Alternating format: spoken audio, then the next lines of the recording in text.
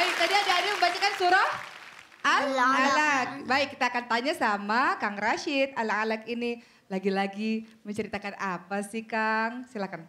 Bismillahirrahmanirrahim. Terima kasih Kak Oki Kak Ari. Di akhir surat ini Allah hendak memberitakan kepada kita ada dua peristiwa besar di ayat ini.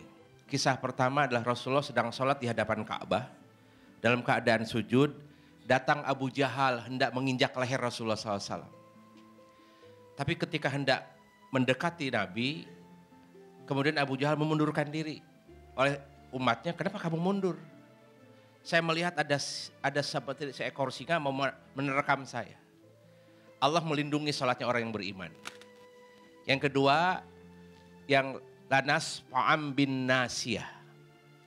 Di sini Allah hendak melindungi, wahai Abu Jahal dan golongannya, kalau engkau masih belum berhenti menyerang umat Islam, aku yang akan turun tangan.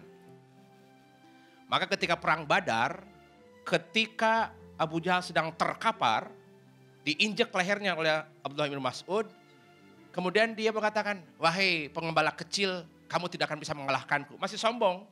Kemudian ditusuk kepalanya dan diikat lehernya, ditarik ke hadapan Rasulullah SAW. Ini balasan orang-orang yang mendurhakai umat Islam. Wabil khusus ketika Quran dibacakan.